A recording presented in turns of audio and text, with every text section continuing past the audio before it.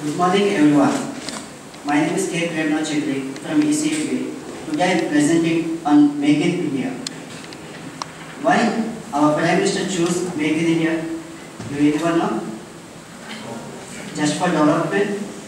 No. He, he saw the issues of youth facing unemployment. In order, in order to reduce unemployment, so one of the Make in India is concept. What is Make in India?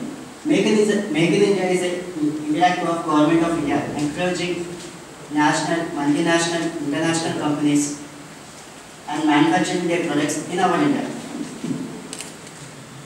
It was launched in 25th September in 2014 Vigyan Bhavan in New Delhi. Sir, our Prime Minister Narendra Modi was launched in front of topmost CEOs. Nearly 30 countries uh, near 60,000 6,000 people are faced it. As everyone know, FDI means, does anyone know FDI?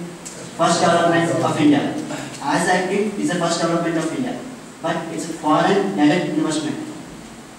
For instance, direct investment, easy to invest, easy to do business in our India.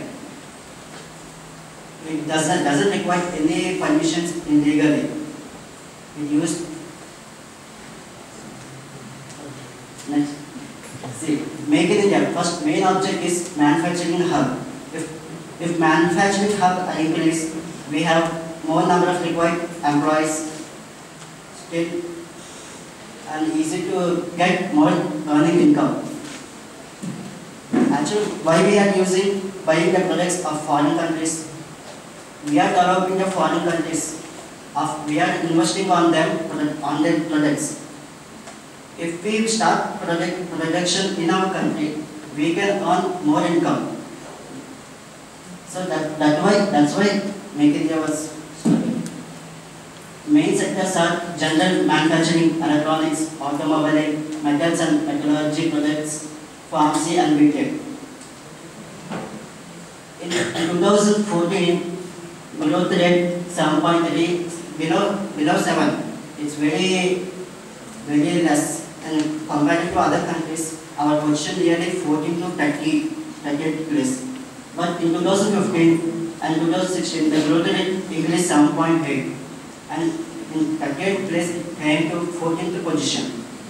First among the world fastest growth in economy. If, if we continue like this, in 2020, 2025, we may cross our China growth rate. Advantages, low labor cost, large pool of skills manpower. See, in 2010 to 2014, our average rate is 40. But 2015-16, some of the company have invested in our area. So, uh, the foreign goods productions are reduced up to 23%. World largest democracy, as we know, India is the world's largest democ- democratic democracy. FDI, foreign development investment service sector has increased 46% in 2014-15. Now it reached up to 54% in 2017. Service sectors including like banking, insurance, outsourcing, searching and development. FDI limit insurance is rises 26% to 49% in 2014. But now it, it uh, reached up to 60%. These are the uh, uh, another sectors, automobile, etc. etc. These are every sectors. The Make in India uh, manufacturing hub and includes this, this all type of sectors. Thank you.